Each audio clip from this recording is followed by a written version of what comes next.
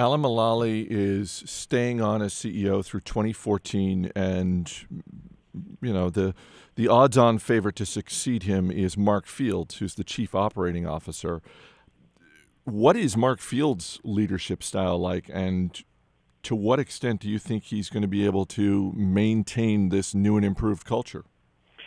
Chris, I've known Mark for, for, for a long time. Before Alan's name was even mentioned here, I, I was working with covering market when he was president of Ford's Americas Group, which was the company's largest division. Mark today is really a product of Alan's cultural transformation. He's a guy who, who was the first person on the team to really get with the program. There's a story that I tell in the book that I think is, is really illustrative of how, how Alan's process works. And, it, and every week, you know, he would, he would ask the executives to, to give a five minute update on their part of the company and color code it. All the data points would either be green if they were on plan, red if they were off plan, or yellow if there was a, a question about them. And for the first few weeks, all of these these slideshows were green. And finally, Alan just just stopped one of the meetings in the middle of the meeting and said, "Hey guys, we're about to lose fourteen billion dollars. Is is there nothing going wrong at this company? How do you explain it?" The next week, the next week, Chris, Mark was, was preparing his slide deck. And this was in December of 2006. They were getting ready to launch the new Ford Edge, brand new vehicle. And Mark knew that there was a problem that had been discovered at the last minute by some of the test drivers at the at the factory, uh, and it hadn't been diagnosed yet. Some sort of rattle in the back, and it was the end of the year. This was the type of thing that would normally just be brushed under the carpet because people would be anxious to, to close the year out, get their bonuses, you know, no one would want to have to to get called on the carpet for something like this at the end of the year. But he decided, you know what, I'm probably going to lose my job anyways. So I'm going to see if this guy's for real. And he put it in red. And uh, the next Thursday, Mark gets up and is giving his presentation. He gets to the to the product update slide, and he says, "And as you can see here, everybody, uh, we have a problem with the Edge launch. It's in red. Here's what it is." the entire room just fell silent, Chris.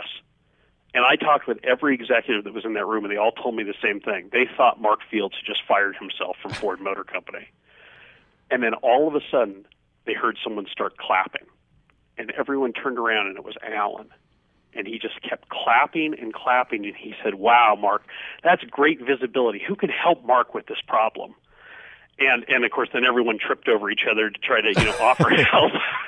and the funny thing, though, Chris, is that even after that, people told me that they, they fully expected when they showed up a week later that Mark was going to be gone. That, that Alan had just put on a brave face for the meeting and that he had quietly taken him out behind the woodshed and, and lopped his head off uh, in the next seven days.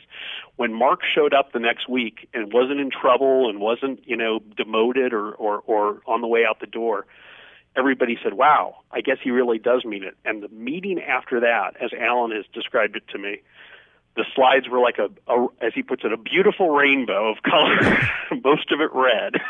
uh, it it it sounds like Boeing could benefit from uh, having some some of those color coded meetings on a weekly basis. Um, Alan Mulally came over from Boeing.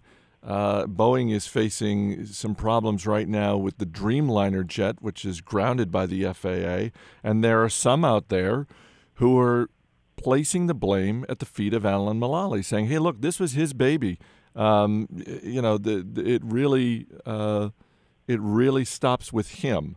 Um, what do you think of that? That it seems like he's been at Ford long enough that uh, that it really shouldn't be uh, they shouldn't be putting the blame at his feet. But but what do you think of that, and to what extent uh, is he aware of this criticism?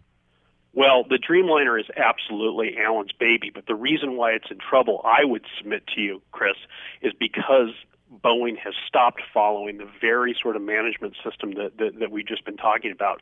This whole color coded management system and all of the other aspects of Mulally's kind of as he puts it, working together strategy are things that he developed when he was president of Boeing's commercial aviation group, when he was working on projects like the, the Dreamliner.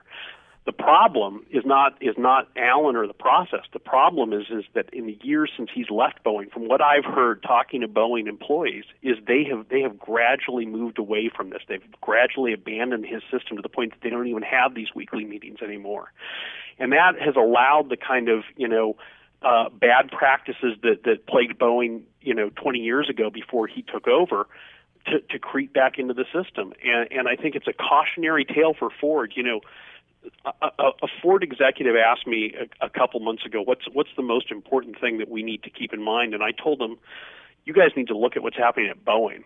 You need to watch it closely because there is the cautionary tale for you about what happens when Alan leaves. I don't think it's Alan's fault at all. I think it's Boeing's fault for abandoning Alan Mulally's management system."